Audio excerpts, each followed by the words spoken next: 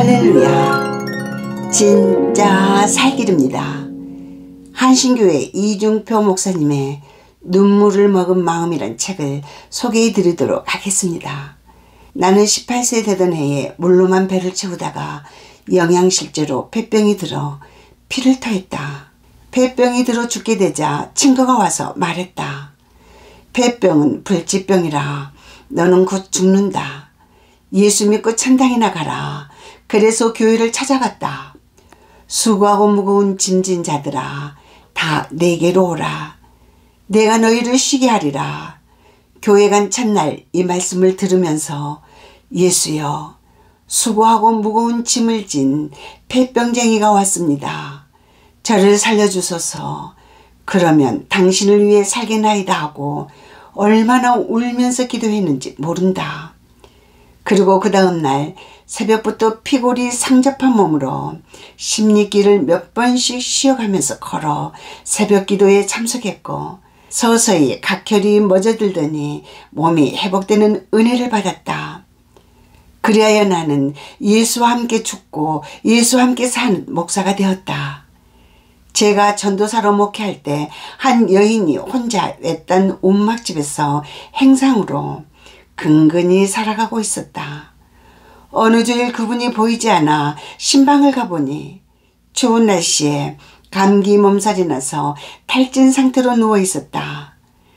간절히 기도해주고 부엌에서 따뜻하게 물을 끓여 마시게 했더니 눈을 뜨면서 이제 죽지는 않을 것 같아요 했다. 그리고 나는 그 집을 나왔다. 그러나 그녀를 그냥 두고 가면 오늘 밤 죽을지도 모르겠고 그러면 나는 강도 만난 자를 피해 지나가는 제사장이나 레인처럼 된다는 신앙 양심의 가책이 들어 다시 그의 집으로 들어가서 그를 등에 업고 신의 보건소까지 십리길을 걸었다. 마치 내가 선한 사마리아인이 된 기분으로 등에 업었으나 실상은 정말 힘든 일이었다. 기운도 붙였고 사람들이 쳐다보니 창피한 생각도 들었다. 몇 번씩이나 쉬면서 걸어가는 내 마음은 애환이 교차했다. 착한 일을 한다는 자의감은 있었으나 너무나 힘이 들고 지쳤다. 게다가 그가 내 등 뒤에 도로 물을 토해내는 순간 언짢아하는 내 본성이 드러났다. 등 뒤에서 전도사님 미안해요. 일찍 죽었으면 이런 고생을 안 시키는데 살아서 우리 전도사님 생고생 시키네요. 하고 엉엉 우셨다. 그때 내 가슴속을 울리는 음성이 있었다.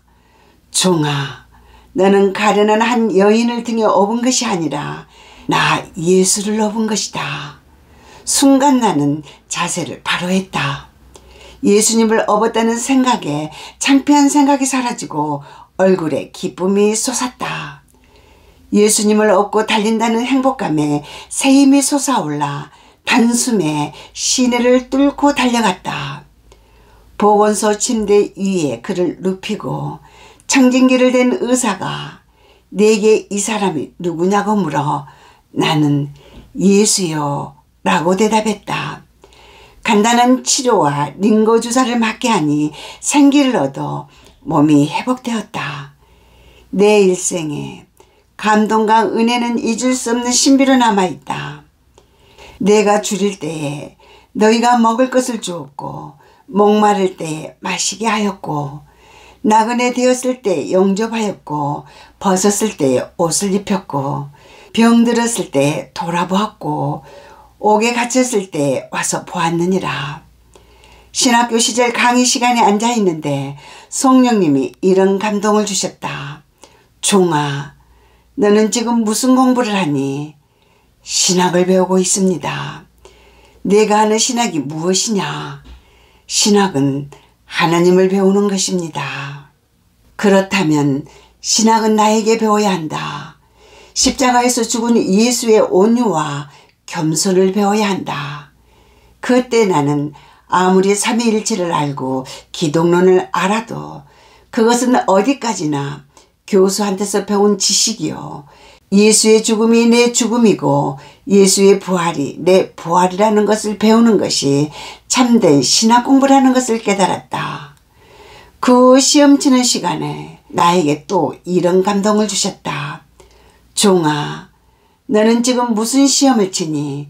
시험은 나에게 치고 내게 합격 점수를 받아야 한다. 아브라함은 모리아 산에서 아들 이삭을 바치는 시험을 쳤고 예수는 십자가에서 자기 생명을 바치는 시험을 쳤다. 너도 내게서 점수를 얻어야 한다. 그리하여 나는 지금까지 자나깨나 예수 그리스도의 십자가만을 바라보며 늘 하나님의 점수를 얻으려고 노력하는 것을 내 목계 철학으로 삼아왔다. 지금까지 한신교회 이중표 목사님의 간증이었습니다. 진짜 살길이었습니다.